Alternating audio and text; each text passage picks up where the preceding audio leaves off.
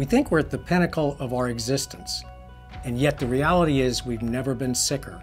We have been facing a rising epidemic of plagues, from asthma to obesity to allergic diseases. And it's going to get worse. Tomorrow's generation really is on the edge of the precipice.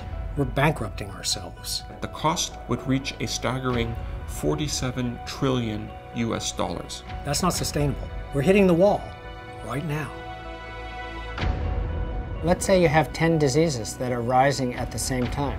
Perhaps there's one thing that's fueling them all. Our ancient microbiome, which protected us against many diseases, is degrading. We estimate we have lost about a third of the diversity of our microbes. If we miss the window at birth, then the immune system never matures correctly. If you upset this process in the early life, then we may have consequences later. And that can lead to production of disease later in life.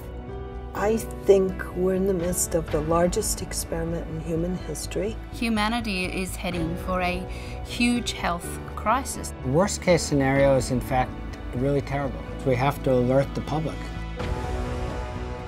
I don't think we're too late, but we're definitely not too early either. Turn the microscope on birth.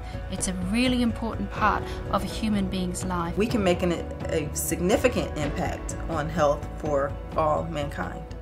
If how we're born affects our chances of long term health, we need to seize this opportunity to actually turn the course of human health.